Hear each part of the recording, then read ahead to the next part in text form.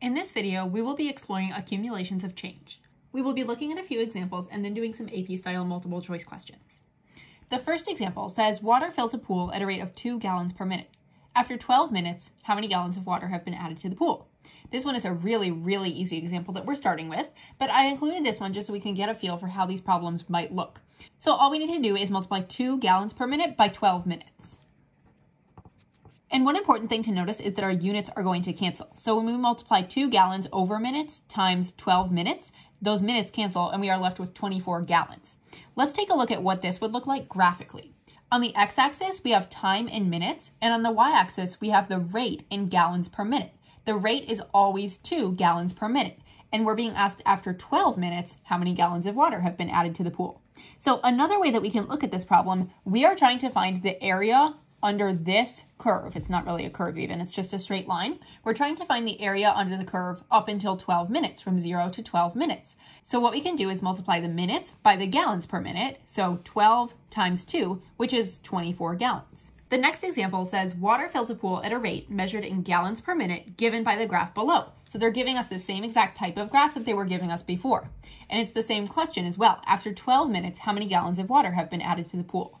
The only thing is that our graph looks a little bit different. So we can see that we have gallons per minute on the y-axis and minutes on the x-axis. If we were to multiply those two, if we multiply gallons per minute times minutes, we will be left with gallons. And it's asking us how many gallons of water have been added to the pool. So what I'm going to do is I'm going to mark from 0 to 12. I need to find the area under this curve from 0 to 12 and that will give me the number of gallons that have been added after 12 minutes. So here I'm just going to use my very basic geometry skills. I'm going to use area of a triangle is 1 half base times height, so 1 half times 8 times 4, which is 16. And then over in this section, we will have to do 4 times 1, which is just 4 for that area. And then 1 half base times height again for this triangle. The base is 3 units and the height is 3 units. So this will be 4.5. And then we just add all of those together. So our answer here is 24.5 gallons. A particle moves in a straight line. Its velocity, v of t, in meters per second in relation to time t in seconds is shown in the graph below. Along the x-axis, we have seconds, and along the y-axis, we have meters per second. Part A says, after six seconds, how far away is the particle from its starting point? So what is the displacement of the particle? Now, I don't want you to freak out when you see this notation. This is integral notation, but we're going to go over exactly what this means. This simply means find the area under the curve of v of t, under the v of t curve, from time equals 0 to time equals 6. That is all that this notation means. So when we look from 0 to 6, which is right there, we're going to find the area under that curve. And we're just going to have to use basic geometry skills here. To find the area of this semicircle, we know that the area of a regular circle is pi r squared. So it's going to be pi r squared over 2 for the area of the semicircle. The radius is 2, so 4 pi over 2, or 2 pi. Then to find the area of the triangle, we do 1 half base times height, so 1 half times 2 times 4, or just 4. Now, when we're looking at a graph and it's going both above and below the x-axis, we're going to have what's called positive and negative space. Positive space is when the graph is above the x-axis. So this would be considered positive space, and this would be considered positive space. The stuff under the x-axis, though, is going to be considered negative space. So when we have negative space in our graph, it simply means that we subtract that instead of adding it. So up in this example, we did 16 plus 4.5 plus 4. In this example, however, because 4 is in the negative space, we're going to do 2 pi minus 4. So the answer here is 2 pi minus 4. That is how far the particle is away from its starting point. And we should also include units here. We had meters per second and we multiplied by seconds, which means that the units are going to be meters. Part B says, after 14 seconds, how far away is the particle from its starting point? And we see this integral notation again here. This is asking us, what is the area under the curve of v of t from 0 to 14, from x equals 0 to x equals 14? So when we go from 0 to 14, we've already found some of the area here. I'm just going to go ahead and find the rest of the area using my geometry skills finding this area of the square, 4 times 4, that will be 16, and then finding the area of this triangle. The area is 1 half base times height. The base is 4 and the height is 4, so the area will be 8 there. And keep in mind that we are going to subtract all of this negative space from the 2 pi. So our answer will be 2 pi minus 28 meters. Part C says, after 14 seconds, what is the total distance the particle has traveled? There is a slight difference between this one and part B. Part B is asking about the displacement. How far is the particle from its starting point? So that is taking into account the positive and the negative space. But in part C, when it's just asking for the total distance that the particle is traveled, it doesn't matter whether the particle is traveling forward or backward, so whether the space is positive or negative. So it's just saying essentially add up all of these areas. Don't take into account that this is negative because distance traveled is different from displacement. Therefore, the total distance the particle has traveled after 14 seconds will be 2 pi plus 4 plus 16 plus 8, or 2 pi plus 28, and then our unit here is meters. In chapters 2, 3, 4, and 5, we were given information about the original function, and then we were asked questions about its derivative. So they would say, here is the function of f, go find f prime, go find f prime at a specific point, find the slope of the tangent line, the equation of the tangent line, tons of things like that. However, in chapter 6, we will be given the derivative and then asked questions about the original function. So we're doing everything in reverse. And this, on a very basic level, is what integration is. If we take a look at these examples that we were working through before, we see that they always gave us a rate. Water fills a pool at a rate of 2 gallons per minute. Water fills a pool at a rate given by the graph below. In this example, it talked about velocity, it gave us information about velocity, and then asked us questions about the position function. So going from the derivative to the original function. This is what we are going to be doing in this chapter. Let's practice with a multiple choice example. The graph shows the velocity v of a particle in miles per hour on the interval from 0 to 10, where t is measured in hours. Which of the following best estimates the distance traveled by the particle from 2 hours to 9 hours? So we can look at the units here to help us a little bit because it's asking what is the distance traveled? So how many miles did the particle travel? We know that this axis will be in hours. The x-axis is hours and the y-axis is in miles per hour. So to get it to just miles, we can multiply these together, so finding the area underneath here. But we're not looking all the way from 0 to 10. We are only looking from 2 to 9. And now we need to estimate the area. So first, I will estimate the area, or I will calculate the area of this trapezoid right here.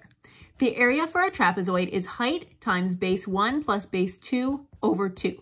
And the trapezoid is going to be a sideways trapezoid here, meaning that the height will be 3 and the bases will be 8 and 2. The area under here is going to be 15 units. And then this is going to be a bit trickier because we have a parabola here and we can't find the exact area right now using just geometry skills. So what I'm going to do is I'm going to approximate the area. I'm going to sketch a shape that I can do, which is going to be another trapezoid here. And I'm going to find the area of this trapezoid here. So again, area is equal to the height times base 1 plus base 2 over 2. The height will be 3, base 1 will be 2, and base 2 will be 6. So the approximate area there will be 12. And lastly, I will find the area of this trapezoid. Its area will be 1 times base 1 plus base 2. Base 1 appears to be a little bit more than 6, probably 6.5. Base 2 is exactly 6, all over 2, this means that the area underneath this trapezoid would be 6.25. So then we just need to go through and add up all three of these. This is equal to 33.25, which is closest to answer choice D. And since it was asking for an estimate, it's perfectly fine that it doesn't exactly line up. The graph of the piecewise linear function f is shown.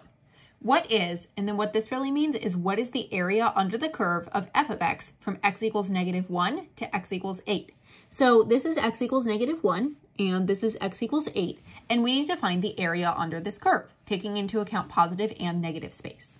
So first I'm going to use my geometry skills, find the area of this triangle right here. The area will be equal to 1 half the base times the height. The base is 5, the height is 2, so the area here will be 5. And then I'm going to find the area of this long and skinny triangle here. Base is 2, height is 6, area will be 6. And then to find the area of this shape right here, that's a trapezoid. So I'm going to use my formula for the area of a trapezoid, which is the height times base 1 plus base 2 over 2. Now the way that we're looking at this, this is going to be kind of a sideways trapezoid. So this will be our height and this will be base 1 and base 2. So our height is 2, base 1 is 6, and base 2 is 4. So the area of that section will be 10. Now we just need to add up our positive and negative space. So 5 minus 6 minus 10, that will be negative 11. So B is the correct answer. The rate at which people enter a mall is given by R of t, where R is measured in people per hour and t is measured in hours after 9 a.m. The graph of R of t is shown. So they are showing us this graph of the rate. On the y-axis, it's going to be people per hour. And on the x-axis, it's going to be hours. At 9 a.m., 120 people were already in the mall. This is going to be an important fact for later. At 4 p.m., how many people are in the mall? we need to find how many additional people entered or left the mall between 9 a.m. and 4 p.m. So if 0 is 9 a.m., 1 will be 10 a.m., 2 will be 11 a.m., 3 will be 12, 4, 1, 5, 2, 6, 3, 7, 4. So 7 is going to be 4 p.m. So we need to find the area all the way from 0 to 7, the area under the curve here. So I'm just going to use my basic geometry formulas again. I'm going to be doing a lot of trapezoids and triangles in this example. First, I'm going to find the area of this trapezoid.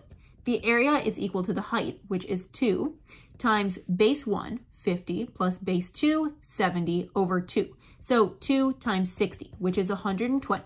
So this area right here is 120.